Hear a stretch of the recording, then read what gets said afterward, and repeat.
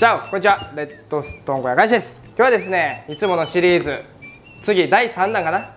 リーフをやっていきたいと思います。でまあいつも通りこれがあるということはですね引いてそのマシンでやっていきたいと思います、まあ、前回前前回ぐらいかね始めてるんですけど、まあ、平等に、まあ、皆さんが求めるような、まマシンで1個だけでねやっちゃうとまあやっぱりねいろんなあれでやってほしいってなるんでこれ引いたマシンでやっていきたいと思います。じゃあ今日はこれ。中に入っとってる。これ。おおスティローザ。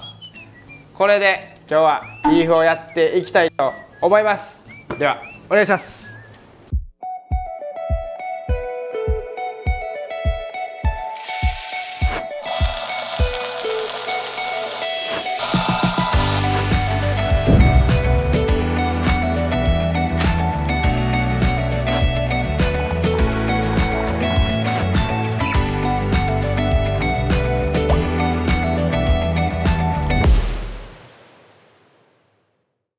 はいじゃあリーフのやり方やっていきたいんですけれども今日使うのはこの僕がまあ初級で一番買ったらいいっていうスティローザ。このマシンデロンギさんのねスティローザと WPM のグラインダー。これはね業務用としても僕は全然使ってもいいかなっていうこのグラインダーでやっていきたいと思います。で、えー、形状がポルタフィルターのバスケットの形状が 51mm なんで皆さん覚えててください。14g しか入らないです。これ以上入れちゃうとどうなるかっていうと入れれない。もうもりもりになりすぎるんで 14g を入れていってください。はいじゃあちょっと豆測っていきます。14g 入れます。リーフか。難しいですからねリーフ。なんかリーフって結構ほんまに練習しないとできないんですよ。で後で水の練習の方法とかもちょっと教えるんでそれもやりながらやって正直言うと1ヶ月以上はかかると思う。この動画見てめっちゃ練習してもまあ、それはねやっぱ努力が実るんで皆さん頑張ってください。OK です。じゃあ豆引いていきます。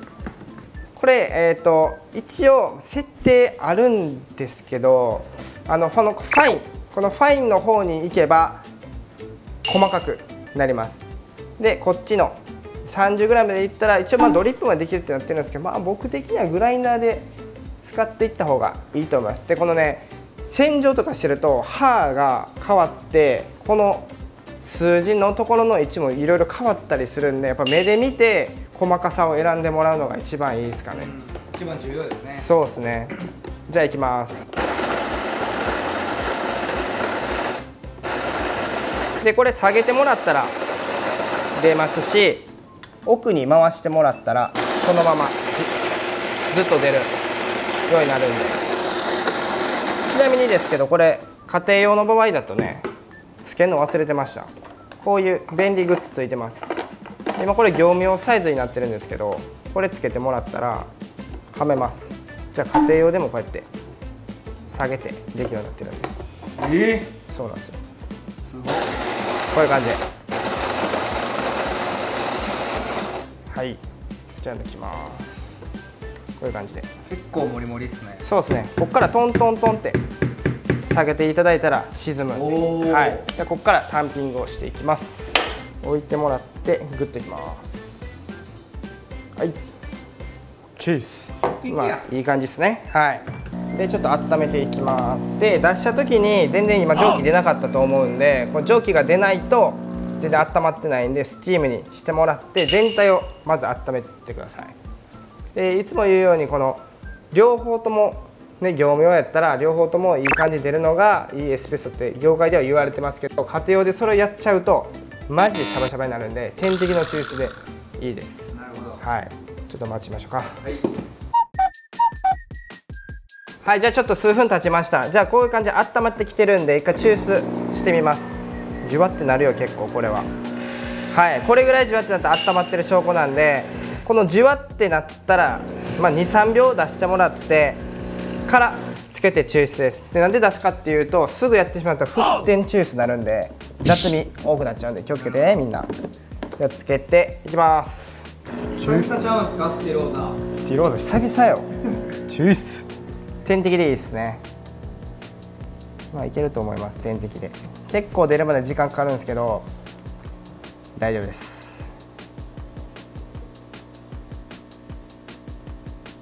はい来ました。このトロトロ感おすげえなマジで。うわー美味しそうなやつ。この点滴大事やからな。特にリーフとかするなってくるとやっぱり。いいね。トロトロや。ここでもうついて早く出ちゃったらめっちゃ水分多くなるんでこれ大事。でも業務用マシンは絶対やらん方がいいですよこれは。家庭用やからできる話なんでじゃないとねやっぱりとろみが出ない。OK これぐらいでリストレット 20mm でねスッと抜きます。見て。うわスティローザでこれできるんよ。うまそう。トロトロ。ですぐにスチームの方に回してください。じゃあここから牛乳測っていきましょう。で今日使うのは WPM のピッチャー使っていきます。これ15オンスピッチャーですね。で、えー6オンスのコップになってます。ただ WPM の場合は中に線がありますその線まで入れることによって大体180ですね。線までちょっと見にくいかな。もう隠れちゃった牛乳で。はい。線まで入れることによって家庭用でも届くんで。ノズルがね。はいはい。そこまで入れてください。はい。はいじゃあランプつきました。でランプついたら一回出します。これは一緒です。ちょっと出しますね。最初水分多いんでこれ出します。でからスタートしていきますね。じゃあ3点5点一緒で1点。で2点で右手で支えると。はい。でほんまは右斜め下なんですけどちょっとピッチャーでかい場合は右斜め前でもいきます。これ3点です。いきます。スタートします。お願いします。じゃあ回ります。回り始めたら大きい空気入れます。これは一緒です。これぐらいやっちゃってください、でここの今スチームランプついてますよねレディはい。このランプが消えたらもっとスチーム今から強くなるんでそれまで我慢してください。これねスティローズの特徴ですね今めっちゃ弱くなっていってます、この段階でこの空気を消しちゃうともう全然シャッパシャバになりやすいし水分が多くなっちゃうんで。このレディあ切れたお切れたらこいつを消していく。この空気。ここ大事。このギリギリライン狙っていこう。ここ。ここ大事。ここ。使いこなしてますね当たり前や。一番好きやからこのマシン。うわめっちゃ綺麗になってますいっぱい使ってきた。ねちなみにこのスティローザ、えー、5代目です。5代目？はい。そんなに？5代目でございます。めっちゃ使ってきたもん。何何かが悪くなって変えてるってことですか？やっぱりね講座とかでもよく使ってるんでうん。そうなってくると頻繁に使うんですよ、はいはい。で正直言うと2杯が限界です。連続抽出。うーん。それ以上やってしまうともうすぐ壊れちゃうんで皆さん2回やってちょっと時間を置いてまた2回やるみたいな連続はやめてあげてください。えどう壊れるんですか？弱くなったりする。弱くなってる。はい。じゃあ熱くて触れないぐらい止めます。なるほど。はい。スティロードのこのこのツヤ出ます。完璧やん。完璧やん。ツヤツヤやん。ツヤツヤですやん。じゃあ本題よ今から、はい。リーフね。いくよ。お願いします。じゃあ叩いてちょっと回して綺麗にしてください。ツヤもっと出るんで、じゃあいきます。回します、高くから回してかさ上げしてくださいはいで中心の1個手前から流して揺さぶって少し押して下がる。でゆっくり切っていく。はい。難しそうむずいよ。はいどうぞ。これがリーフになります。すごかった今左手の動きと。そう右手のねこの流れが。めっちゃ大事なんでじゃあ今から恒例のボードで説明していきます。お願いします。はいじゃちょっとボードで説明していきたいんですけどいつも通り取っ手の中心の1個手前ここは一緒です。基本的にラテアートの位置ってここから始まるんで。でこの時に、えーリーフっていうのはまずは1回流すな流します。で流すことによってどうなるんかっていうとツーって一本線が入るんですよ。ここ結構大事でその一本線が入ったら距離が届いてるっていう意味になります。ただやったらダメなのがここにトンってやった瞬間から振る。これをやっちゃうとめちゃくちゃにじむんで下がよく皆さんあると思います。ここにじんじゃうこと。これ早すぎるんですよ。だからまずは一本線ツーって流れるのをよく確認してください。なので左手の戻しはめっちゃ大事になる。左手をゆっくり戻しながら流すことによって一本線が軽く入ります。軽く入った段階でその場でいいんで揺さぶってください。でここでだいたい6回ぐらい揺さぶります。でそれをやりながら左手戻してでここで揺さぶったのを次いつも通りここね取っ手のこのね奥までここまで流しながら押し込む。これが大事。で押し込むことによってここで揺さぶった、まあ、56回の部分がこう上がってくれるんですよ。はいはい。ここが大事。だからその場ですぐに揺さぶってすぐガーンって押しちゃうともうここまでにじんじゃうんでその場で揺さぶったのを取っ手の奥まで押し込む。うん。必ず取っ手の中心の1個手前からこの取っ手の奥まで流しながら軽く押し込む。あそっからの線は越えたらダメ。超えたらダメ。ここがポイントになってくるよね。でこのまま揺さぶって123412345ぐらい。で、はいはいはい。こっからは距離を保ちながら戻していくと。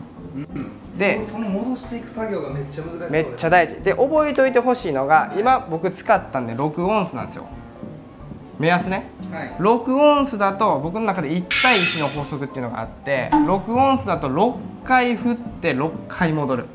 6回振って6回戻る。なるほど。7オンスやったら7回振って7回戻る。うわわかりやす。いやったらバランスめっちゃ良くなるんでね。めちゃくちゃ良くなるんで、はい。だから流す揺さぶる押し込む下がるはいはい。でここはゆっくりハートを作るなり別にハートを作らなくてもまだどっちでもいいと思います。うん。だからこの1対1の法則ね。1対1の法則。6回振って6回戻る。7回振って7回戻るのをこの感じを覚えながらやったら結構綺麗にはできると。なるほど。はい。だここの上がりね。ここの上がりってどういうことかってここなんですよ。こここれ。わかりますか？ここのこっからあーそこここに上がってきてるってことですそうそう。これはなんでできてるんかっていうとさっき言った取っ手の中心1個手前から奥まで流しながら押し込んでるから上がるんですよ。はいはいはい。よくあるのが多分ねこういうリーフ書いちゃう人いてると思います。はいはい。これはなんでなるんかっていうと押し込めてないから。軽くでも押し込んだら上がるんで。これが。ああそっちの方が全体的に綺麗ですそうこれがないと次のステップ進めないんでこれ何になるかってこれウィングなるんで。なるほどね。だからこれ何してるかってウィングのリーフを兼ねながら実はやってるっていう。勝手にウィングできるようになってるから。これよりもこっちを目指していってください。第3ステップにふさわしいアートですね。そうでしょ。これが大事な。のでさっき言った最初に言ったのは水の練習の方法、はい。これもあってちょっと一瞬だけいいですか？そのやり方、はい水のやり方だけ最後ちょっと伝授するんでね、はい。い、きますよ、はい。まず流します。これ大事です。一定に流すね。これめっちゃ大事なんで、一定に流す。これに揺さぶりを加えます。で左右対称に揺さぶれる練習を必ずしてください。棒とか持ってもらってですねこの左右対称に揺さぶる練習。はい。でペンでやる方はこここの2本を集中しながら流しながら揺さぶる。これが大事。でこのスタンダードの持ち方は小指とえー薬指。ここを軽く握る。ほんまにこんな。これぐらいを流しながら握り握ると。じゃあ揺さぶれるんで。でやったらダメなのが、はい。えーっとこれ。めっちゃピッチャー振っちゃ。うはいはいはい。そうなると暴れまくるんでゆっくりゆっくり流しながら揺さぶると、なるほどね。うん、この方法をやりながら、まあ、大体マジで練習しても1ヶ月はかかります。完璧になると思うとまず3ヶ月はかかるんで。で家庭用でやるやる場合はやっぱり安定感がないんでその分難しいんですけどこのレベルは全然できるんで皆さん頑張ってこの動画を参考にしてやってみてください。はい。はい。じゃあリーフのやり方になりました。はい。今日もありがとうございました。ありがとうございました。いやー第3ステップいきましたね。第3ステップいったね。はい。次第4ステップはレイヤーハードでもやっていこうかな。レイヤーハート。レイヤーハート。レイヤーハート。レイヤーハート。ウイング玉。そうウィングが入っているハッピーバリスタ。ハッピーバリスタここにもおった。こっち。ありがとうございますよっしゃ高くから回してかさ上げしてくださいはいで中心の1個手前から流して揺さぶって少し押して下がる。